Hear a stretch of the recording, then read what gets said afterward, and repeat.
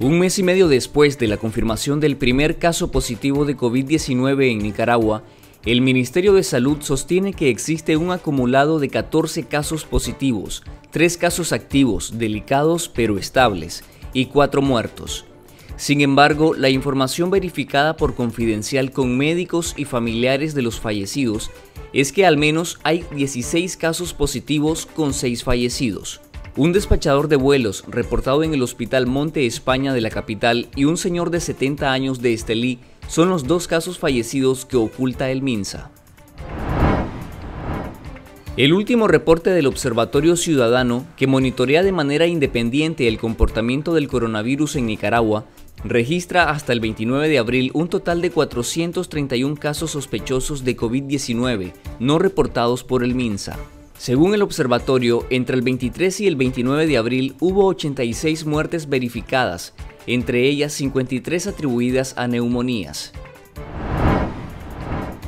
Luego de 15 días de ausencia tras su último discurso público, el presidente Daniel Ortega reapareció en una comparecencia televisiva desde sus oficinas en El Carmen, para pronunciarse en contra del resguardo domiciliar que promueve la sociedad civil como prevención del COVID-19 calificando estas medidas como extremas y radicales.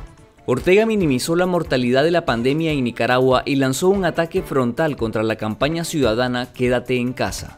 Si nosotros le decimos a, la gente, quédense en casa, ¿quién, va a fumigar?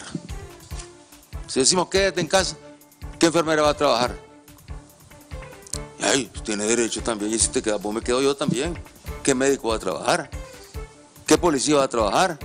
¿Qué soldado va a trabajar? Por eso les digo, se destruye el país. Por esa vía se destruye el país. Y los que han estado con ese discurso son los mismos que, quisieron eh, hundir al país en abril del año 2018, pensando que si se destruye el país, ellos van a sobrevivir, no se dan cuenta que aquí no queda nadie. Y son los del discursito ese.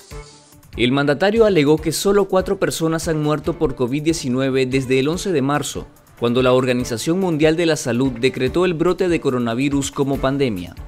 Mientras en ese mismo periodo, por otras causas y enfermedades, fallecieron 2.829 personas.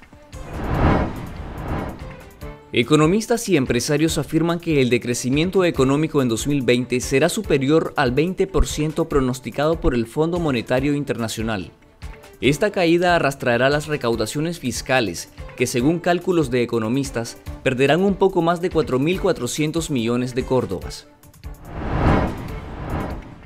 La Alianza Cívica por la Justicia y la Democracia demandó un plan de 43 medidas de emergencia para dar un respiro a los trabajadores y empresas durante la crisis económica del país por los drásticos efectos de la pandemia de COVID-19.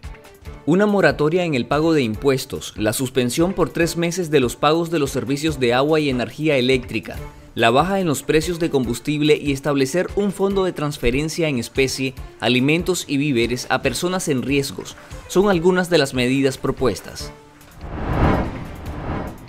El impacto que tendrá la crisis sanitaria generada por el coronavirus, más la falta de un plan de contención, provocará que entre 59.300 y 123.400 personas pasen al desempleo este año, advierte la Fundación Nicaragüense para el Desarrollo Económico y Social FUNIDES.